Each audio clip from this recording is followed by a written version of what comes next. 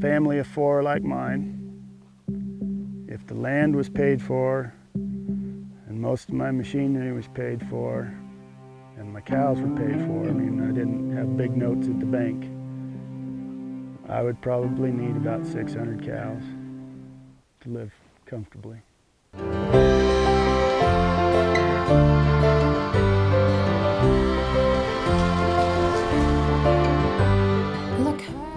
Shot him and then he jumped over the fence and went down the bank right there. So I dropped my bag. As Steamboat was booming, they come and want Western wildlife artwork to decorate in their homes. Upon days, quiet room, won't you clear out my mind?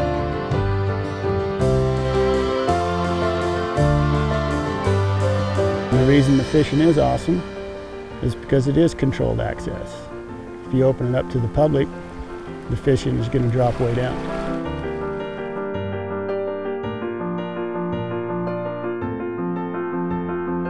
Everybody's got a second job.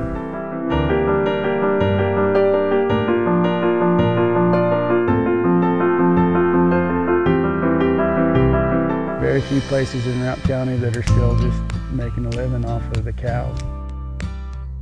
Just live out here, be a rancher like my dad was, but this day and age,